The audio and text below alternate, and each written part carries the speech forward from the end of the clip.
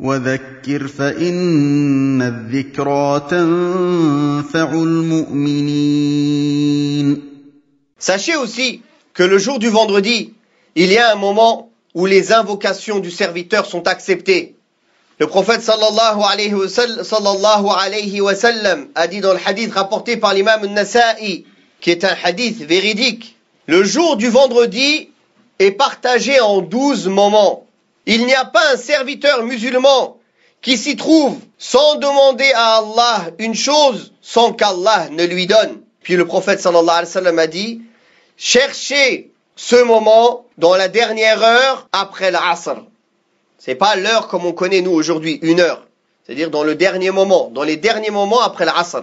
C'est-à-dire une heure, une heure et demie, dans les derniers moments ou une demi-heure avant le Maghrib, c'est le meilleur moment pour chercher ce moment-là où la dua est acceptée le jour du vendredi.